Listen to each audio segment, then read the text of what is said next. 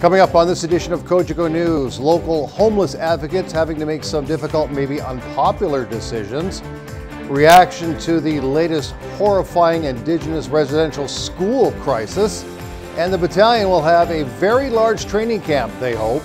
Those stories and more live at 5 on Cogeco News.